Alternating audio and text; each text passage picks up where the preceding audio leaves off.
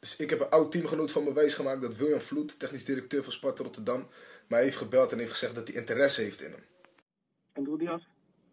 Hi Andrew, je spreekt met William Vloed. Ja, waar het op neerkomt is, is, is dat wij eh, min of meer zijn eh, genoodzaakt om ook amateurvoetballers de kans te geven.